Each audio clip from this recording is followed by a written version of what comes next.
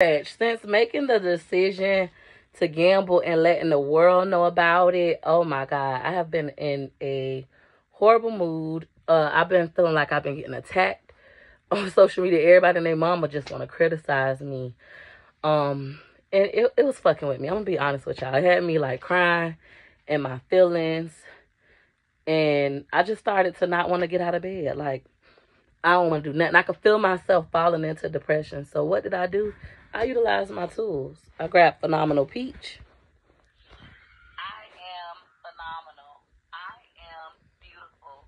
I am brilliant. I am relentless. I am a multimillionaire. I am a great wife. I am a great mother. I am Phenomenal Peach. I grabbed Phenomenal Peach just to remind me of how great I am. And then I started in my closet. Time I get overwhelmed, depressed, and I feel like I'm about to give up. My house is about to go dirty. I'm just whatever. I started my closet. I bought a new shoe rack for over here so I'm able to put out more of my husband's shoes.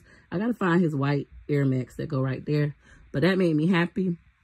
I've been doing laundry today. So we still in order. All right. And I do clothes like this white, pink. My husband had to do this. So I would never do that. Yellows, oranges, as you guys can see. Hmm. The colors. I put them in certain colors and I put them by style, like his collared shirts and all that stuff. My husband gave away a lot of his clothes recently, as well as a lot of shoes, because he want to motivate himself to get new wardrobe. But all of this is wood side, all the way up to these black pants. So this is how I organize our closet, realistic, regular people kind of closet. And then up top, we have his stuff. Then we go this way, it's my stuff. These bins right here, y'all know I hate dressers. I think they tacky. We have a dresser now just because I needed a place to put my kids' stuff to help me be more organized for school. That was pretty. But this is all my stuff. These are pajamas, bathing suits, and then panties, lingerie, things of that nature. All my stuff, my husband, he got rid of his stuff because he has some of his stuff in the new dresser that we got. And then over here we have my side, starting with my swim stuff, dresses, robes, and then my shirt starting from white, coming down to my jackets. And then right here where the white shorts are, all the way back, all of my clothes.